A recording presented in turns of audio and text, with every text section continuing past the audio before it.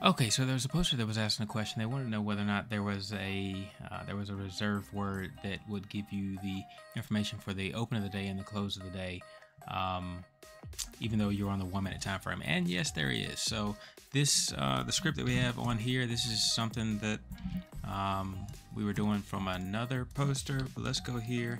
Let's go out to our development environment, and uh, let's open a new indicator.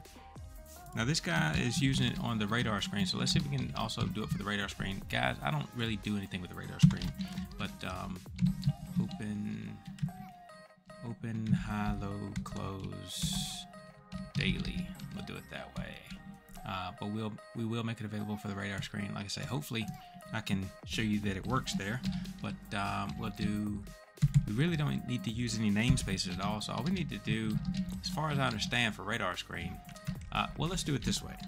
Let's just print it first. So print, I'm going to print the open D. That's all it is. And then it gives you the period to go. So we'll print it, um, we'll say open space that open and then I think they were also looking for the close. Let me see if I can pull it up. They were looking for copy. This is what they were looking for.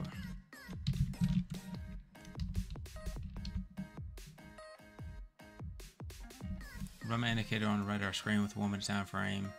Uh, is a reserved word that I can use to output daily, open, or close. Alright, and so yes, it's open D. Alright, you also have um, close, and we'll do this and this, and uh, close D. Periods ago would be zero. Uh, so the zero periods ago will be the current day, right? So if you want to do it for the day prior, since you said the close, I imagine you want to at least do it for the day prior. So we do one day ago and one day ago. Okay, and then close that, verify that, come over here and do TSF. Uh,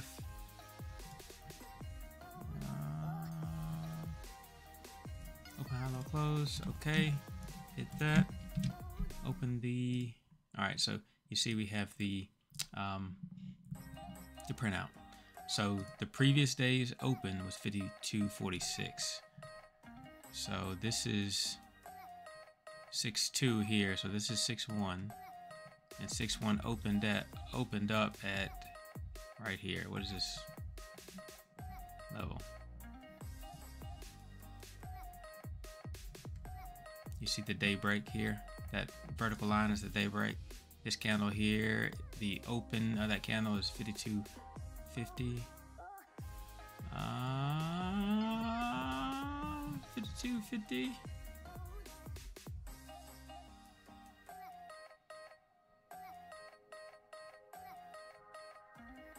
What have I got here?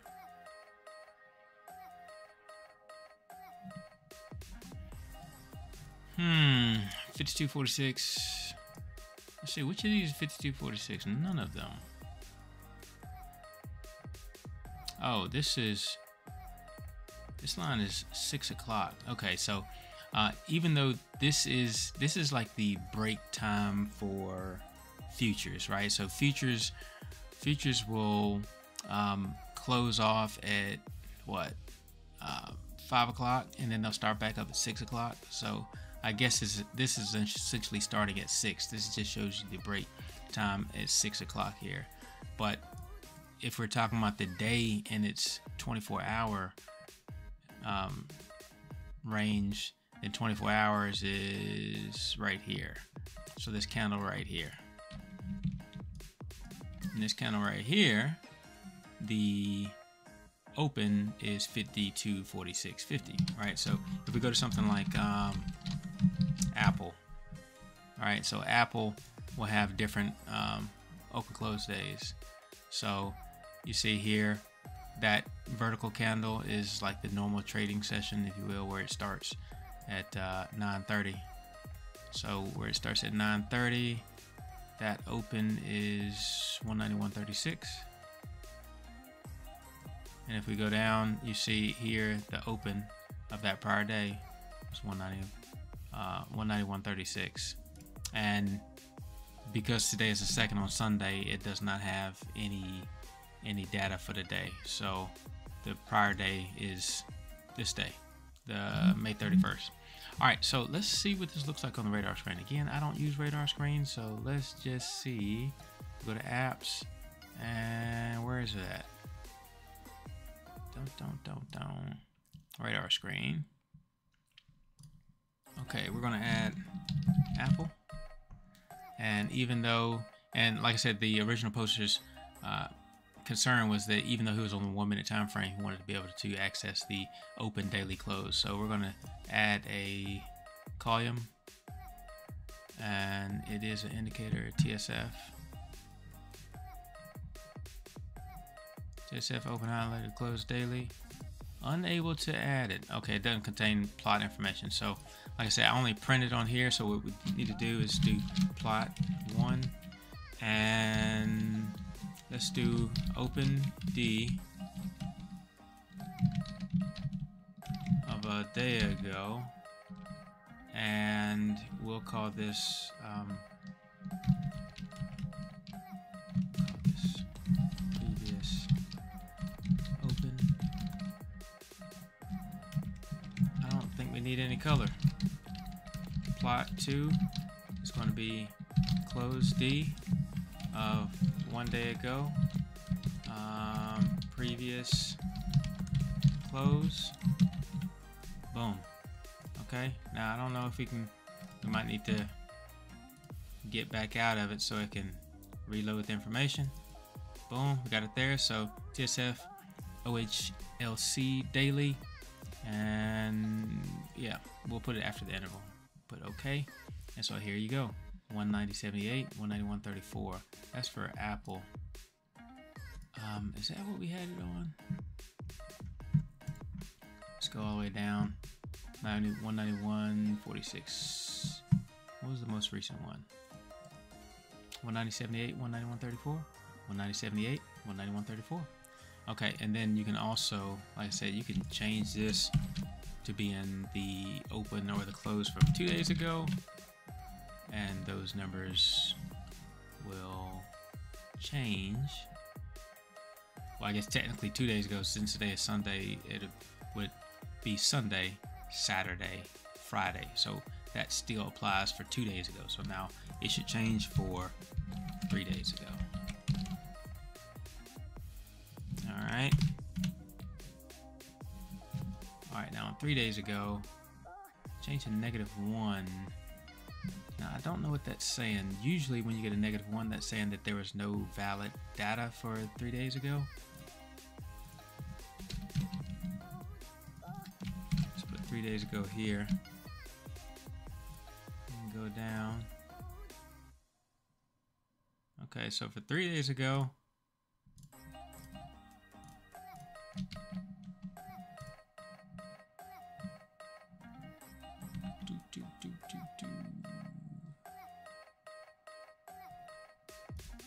unless what happened three days ago? Let me see let me go to the calendar.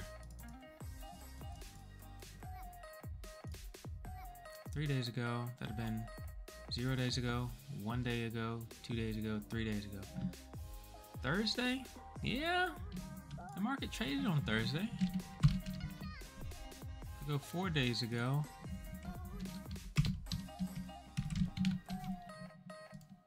still getting that negative one. And this might just be a nuance of radar screen that I don't know anything about. Regular session.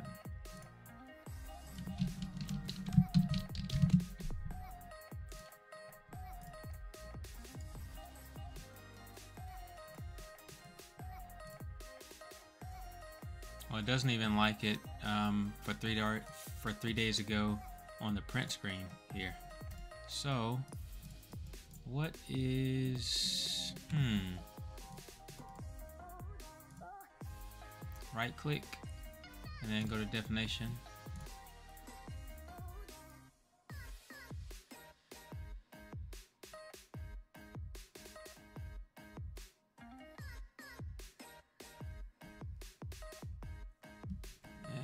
The difference. The five minute time frame is not pulling, the interval might be the five minute time frame, but it doesn't have uh, enough days to look back.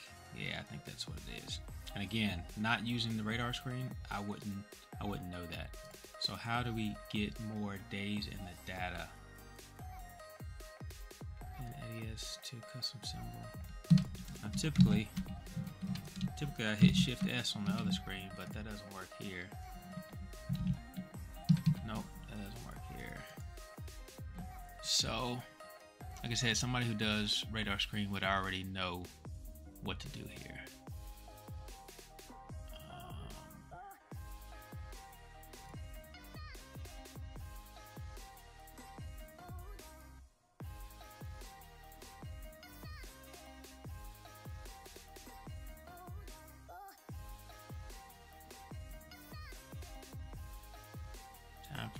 Five minutes.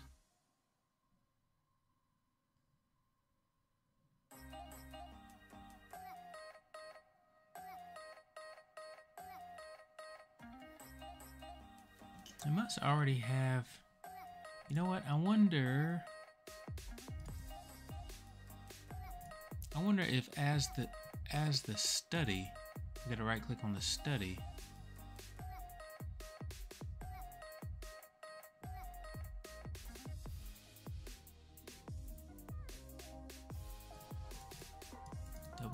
Study, right click on the study, hit studies, edit studies. TSF for all symbols.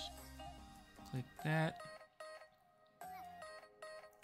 Load additional data for cumulative calculations.